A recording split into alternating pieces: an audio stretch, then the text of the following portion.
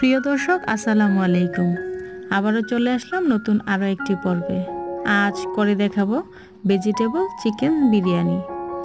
এই বিরিয়ানিটা দেখতে যতটা সুন্দর, এটা খেতেও কিন্তু অনেক বেশি সুস্বাদু, অনেক বেশি পুষ্টিকর।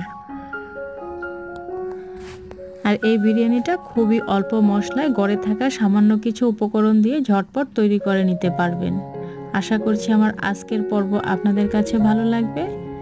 তো আসুন, কীভাবে তৈরি করতে হবে এই মজাদার বিরিয়ানি দেখে নেই। এই বিরিয়ানির জন্য প্যানে দিয়ে দিচ্ছি পরিমাণ মতো রান্নার তেল। এখানে কিছু গরম মশলা নিয়েছি।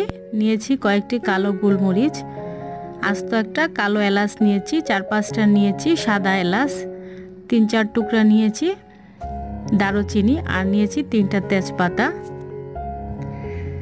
এখন তেলে দিয়ে দিচ্ছি। এখন নেড়ে চেড়ে ফোড়নটাকে একটু উঠিয়ে নিতে হবে। নেড়ে চেড়ে যখন ফোড়নটা আসবে তখন এতে দিয়ে দিচ্ছি হাফ কাপ পেঁয়াজ কুচি আর দিয়ে দিচ্ছি দুই তিনটা কাঁচামরিচ ভেঙে নিয়েছি। এখন নেড়ে চেড়ে এটাকে একটু ভেজে নিতে হবে। এখন দিয়ে দিব আদা আর রসুন বাটা দেড় টেবিল চামচ করে। আমি ফ্রোজেনটা নিয়েছি। এখন নেড়ে চেড়ে এটাকে একটু ভেজে নিতে হবে।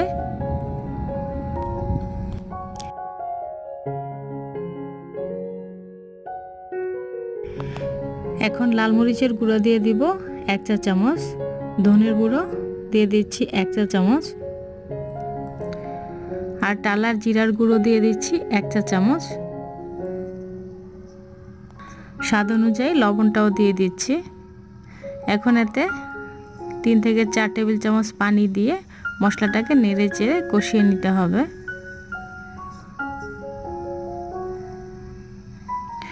মশলাটা কষানো হয়ে গেছে। এ পর্যায়ে আমি চিকেন দিয়ে দিচ্ছি, ছয়শো গ্রাম চিকেন।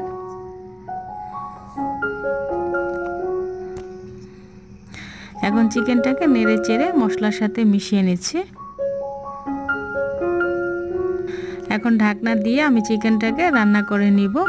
পঁচিশ থেকে তিরিশ মিনিট। চিকেনটাকে রান্নার সময় আমি এটাতে কোনো পানি ব্যবহার করিনি। চুলার আঁচটাকে মৃদু আঁচে রেখে আমি এটাকে রান্না করে নিয়েছি। এখন আমি চিকেনের পাত্রটাকে উঠিয়ে নিয়েছি। এখন আমি চালটা রান্না করব। এখন চুলায় আরও একটা প্যান বসিয়ে দিলাম। এতে দিয়ে দিচ্ছি ওয়ান ফোর্থ কাপ রান্নার তেল। এই তেলে দিয়ে দিচ্ছি সবজি। এখানে নিয়েছি আমি গাজর, নিয়েছি ফুলকপি, ব্রোকলি নিয়েছি, আর নিয়েছি আলু। সবগুলো সবজি আমি একই ধরনের ভাবে কেটে নিয়েছি। তো এখন এই গরম করা তেলে আমি সবজিটুকু দিয়ে দিচ্ছি। এখানে এক্সট্রা করে লবণ, হলুদ আমি কিছুই ব্যবহার করছি না। নেড়ে চেড়ে এটাকে, সবজিটাকে বেজে নিতে হবে। এতে করে সবজির যে একটা কাঁচা ফ্লেভার থাকে, সেটা চলে যাবে আর বিরিয়ানিটা কিন্তু অনেক টেস্ট হবে। তো এই পর্যায়ে সবজিগুলো ভাজা হয়ে গেছে, আমি উঠিয়ে নিচ্ছি। তেলটাকে ছেঁকে রেখে দিয়ে আমি একটা ঝাঁঝরিতে এভাবে করে এটা উঠিয়ে নিচ্ছি।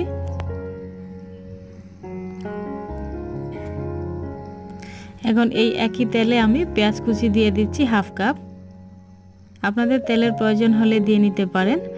তো আমি পেঁয়াজটাকে নেড়ে চেড়ে একটু সফট করে নিচ্ছি। এই পর্যায়ে এসে দিয়ে দিব আমি চাল। এখানে আমি পাঁচশো গ্রাম চাল নিয়েছি। চালটাকে কিছুক্ষণ ভিজিয়ে রেখে তারপর এটাকে আমি ছেঁকে নিয়েছি। এখন চালটা দিয়ে নেড়ে চেড়ে এটাকে বেজে নিতে হবে।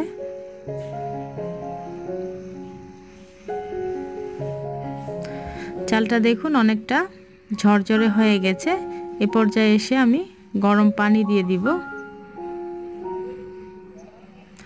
আমি এই মগ দিয়ে চাল মেপেছি। এখন আমি যেই মগ দিয়ে চাল মেপেছি, সেই মগে আমি ডাবল পানি দিয়ে দিচ্ছি।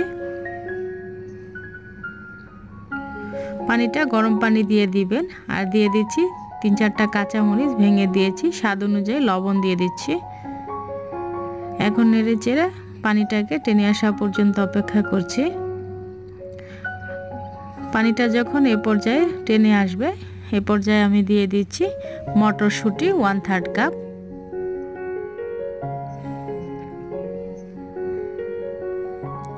আর দিয়ে দিব রান্না করা চিকেন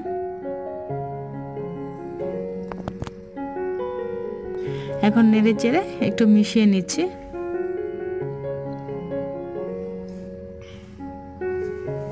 এ পর্যায়ে এসে বেঁচে রাখা সবজিগুলোও দিয়ে দিচ্ছি। এখন আবারও নেড়ে চেড়ে সব কিছু একত্রে ভালো করে মিশিয়ে নিচ্ছি। এখন ঢাকনা দিয়ে, আর এটা ছিদ্রটা আছে, ছিদ্রটা আমি বন্ধ করে দিয়েছি, অপেক্ষা করছি পাঁচ মিনিট। ঢাকনাটা উঠিয়ে নিয়েছি। এখন একটু নেড়ে চেড়ে এটাকে পুরোটা উল্টিয়ে দিতে হবে। এভাবে সুন্দর করে এটাকে ফ্ল্যাট করে দিয়ে আমি ঢাকনা দিয়ে দিচ্ছি। এভাবে দমে রেখে দিব আমি বিশ থেকে পঁচিশ মিনিট। ফিরে আসলাম পঁচিশ মিনিট পর।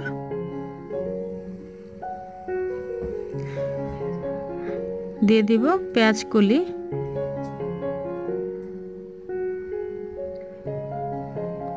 আর দিয়ে দিচ্ছি ঘি।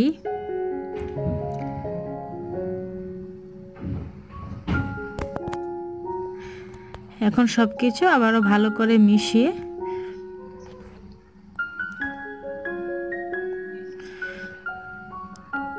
ঢাকনা দিয়ে রেখে দিচ্ছি পাঁচ মিনিট। এখন গরম গরম পরিবেশন করে নিচ্ছি।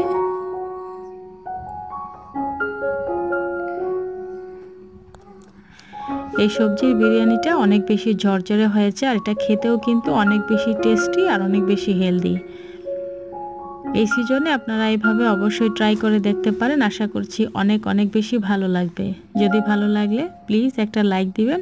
তারই সাথে চ্যানেলটা সাবস্ক্রাইব করার অনুরোধ রইল। আবারও নতুন আরও একটি পর্ব দেখার আমন্ত্রণ জানিয়ে বিদায় নিচ্ছি। সবাই অনেক অনেক ভালো সুস্থ থাকবেন। আল্লাহ